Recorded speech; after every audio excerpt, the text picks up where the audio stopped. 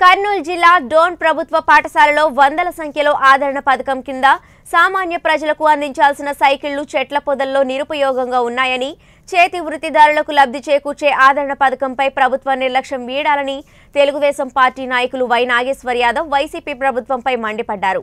సంవత్సరాల తరబడి ఆదరణ పథకం కింద కులవృత్తుల పంపిణీకి నోచుకోవలసిన సైకిళ్ళు నిరుపయోగంగా చెట్ల పొదల్లో తుప్పుపట్టి పడి ఉన్నాయని వారు ఆవేదన వ్యక్తం చేశారు. కులవృత్తులు కనుమరుగవుతున్న నేపథ్యంలో విడుదల వారీగా డెబ్బై శాతం సబ్సిడీ ఇరవై శాతం బ్యాంకు రుణం మిగిలిన పది శాతం లబ్ధిదారులు చెల్లించే విధంగా అప్పటి టీడీపీ ప్రభుత్వం ఈ పథకాన్ని ఏర్పాటు చేసిందన్నారు. మొదటి విడతగా రాష్ట్ర వ్యాప్తంగా నూట పదిహేను పాయింట్ ఐదు సున్నా కోట్ల పరికరాలను పంపిణీ చేసి ప్రజలకు అందించామన్నారు. ఈ పథకానికి ఆదరణ పెరగడంతో ఆదరణ టూ కింద రెండో విడతగా ప్రభుత్వం ఇస్తున్న సబ్సిడీని డెబ్బై శాతం నుండి ఎనభై శాతానికి పెంచిందన్నారు. దీనితో గత రాష్ట్ర ప్రభుత్వంపై రెండు వందల పద్నాలుగు కోట్ల భారం పెరిగిందన్నారు. అయితే రెండో విడత మొత్తం తొమ్మిది వందల అరవై నాలుగు కోట్ల రూపాయలకు చేరుకుందని అయితే అదే సమయంలో ఎన్నికల కోడ్ రావడంతో కులవృత్తులకు పంపిణీ చేయలేదని వారు తెలిపారు. సైకిళ్ళు పంపిణీ చేసే క్రమంలో ఎన్నికల కోడ్ రావడంతో పంపిణీకి నోచుకోలేదన్నారు. ఈ సైకిల్ అన్నిటినీ ప్రభుత్వాధికారులకు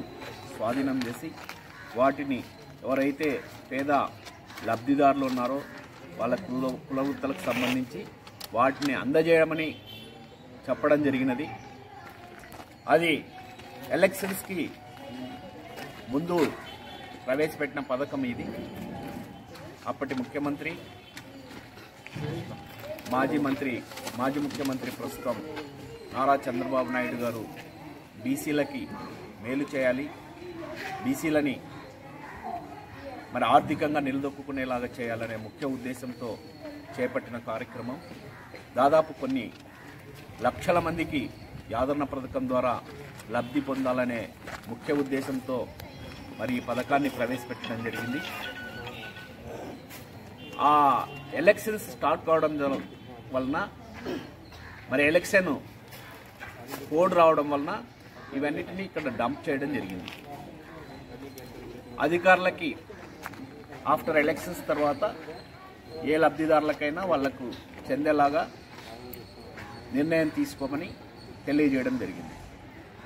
కానీ ఇక్కడ మరి ప్రభుత్వం చేంజ్ కావడం వలన ఇవి బీసీలకు సంబంధించినవి. మరి ఎవరు అడుగుతారు అని ఈ విధంగా పూర్తిగా చెట్లు మరి దాంట్లో కంపలు ఎవ్వరికీ ఉపయోగపడకుండా తయారు చేయడం వలన మరి ప్రభుత్వానికి కానీ ఇక్కడ అధికారులకు కానీ చిత్తశుద్ధి ఉందా అనే సందర్భంగా మేము అడుగుతా ఉన్నాం.